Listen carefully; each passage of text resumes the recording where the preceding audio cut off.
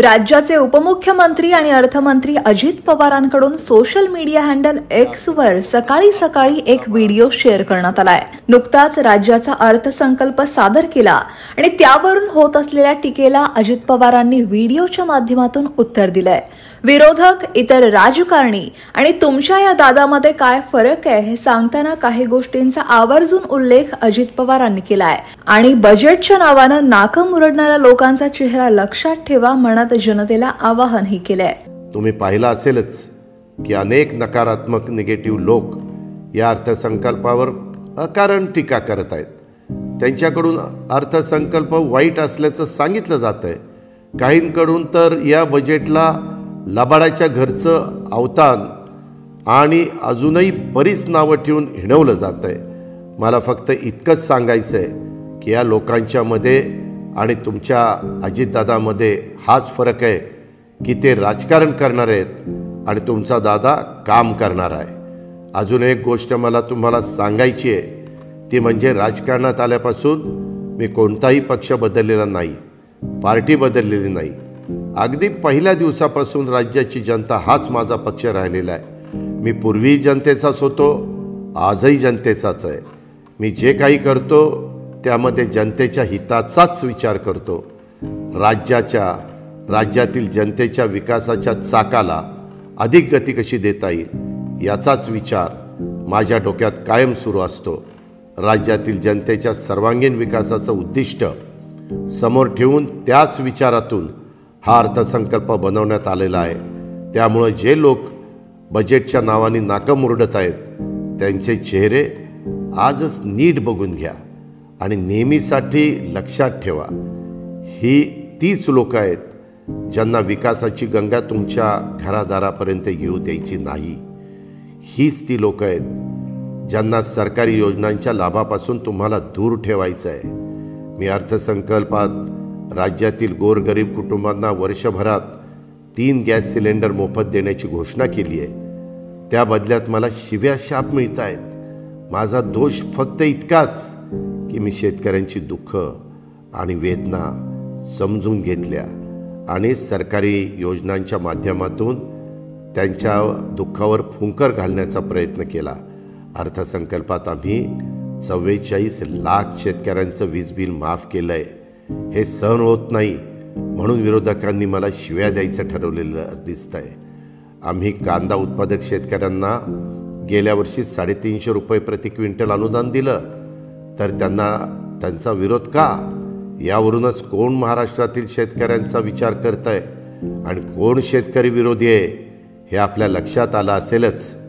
काही जण अर्थसंकल्पात शेतकऱ्यांच्यासाठी पुरेशा रकमेची तरतूद नसल्याची तक्रार करतायत. मी जेव्हा अर्थसंकल्प सादर करत होतो त्यावेळेस बहुतेक ही लोक झोपलेले असावेत. आम्ही दूध उत्पादकांच्यासाठी प्रति लिटर पाच रुपये अनुदान जाहीर केलं आणि या लोकांना त्यांची खबरबात देखील नाही. आम्ही कापूस आणि सोयाबीन उत्पादक शेतकऱ्यांच्यासाठी हेक्टरी पाच हजार रुपये बोनस जाहीर केला. धान उत्पादक शेतकऱ्यांच्यासाठी हेक्टरी वीस हजार रुपयाचा बोनस त्या ठिकाणी दिला जातोय. इतकं सगळं करून देखील हे लोक आम्ही काहीच केलं नसल्याची बोंबा मारतायत. त्यात तथ्य नाही. अर्थसंकल्प ग्रामीण भागावर विशेष लक्ष देणारा आहे. पण माझ्या विरोधकांना त्यांचं काय? राज्याच्या विकासाशी ह्यांचं काही धेणं घेणं नाही आहे त्यांना फक्त राजकारण करायचं आहे गावगाड्यातील रस्त्यांच्या बांधकामासाठी दुरुस्तीसाठी आम्ही सात हजार सहाशे कोटी रुपयांचा निधी दिला. पण त्यांच्या पोटात दुखायला लागले गावखेड्यातला माणूस लवकर शहरातनं पोचून तिथलं काम आटपून रात्री जेवणासाठी घरी परत यावा याची व्यवस्था आम्ही करतोय आणि विरोधकांच्या पोटात गळा यायला लागल्यात. येणाऱ्या विधानसभा निवडणुकीसाठी आमचा एकच मुद्दा आहे तो म्हणजे विकास. विरोधकांच्याकडून तुम्हाला वेगवेगळ्या पद्धतीनं फूस लावण्याचा प्रयत्न केला जाईल. पण तुम्ही मात्र अशा प्रकारच्या घाणेरड्या राजकारणाला अडकू नका. तुम्ही फक्त याकडं लक्ष असू द्या की तुमचा दारामध्ये विकासाची गंगा कोण घेऊन आलंय? विकासाच्या मुद्द्यावर कोण बोलतंय? आणि तुमची कामं कोण करतंय? कुणाचा ट्रॅक रेकॉर्ड आहे? काम करण्याचा काम करून घेण्याचा आणि काम करून दाखवण्याचा हे लक्षात घ्या. केवळ भाषणबाजी करणाऱ्या नेत्यांपासून जरा जपूनच आणि दूर राहा. जे नेते काम करत आहेत त्यांच्या पाठीशी उभे राहा. त्यांनाच मतदान करा.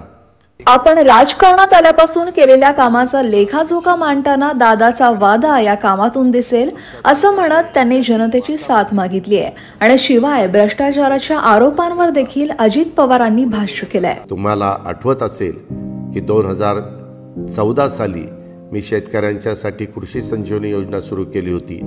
त्यामुळे शेतकऱ्यांचं वीज बिल कमी झालं. सोलापूर पाटबंधारे प्रकल्प Pune Pimpri Chinchwad metro Kharadi I T park Baramati hitech tex textile park Kolhapur औद्योगिक क्षेत्र असेल.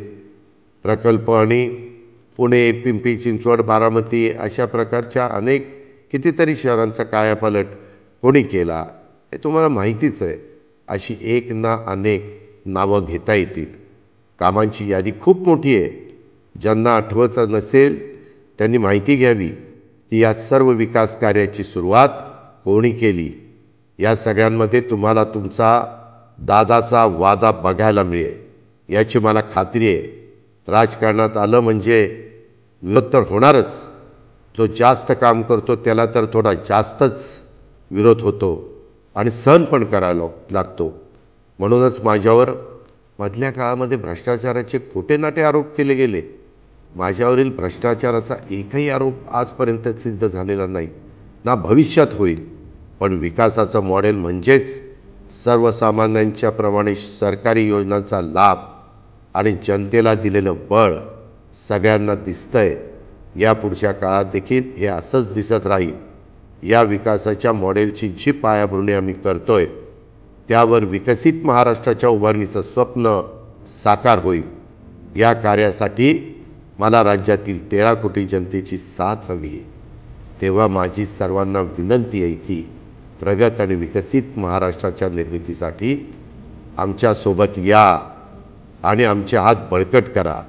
सर्वांचे पुन्हा एकदा आभार. धन्यवाद. आणि त्यामुळंच अजित पवारांच्या या व्हिडिओ नंतर आता विरोधकांकडून या व्हिडिओला कशा प्रकारे उत्तर दिलं जातं हे पाहणं महत्वाचं bureau report Lokmat dot com. Gas cylinder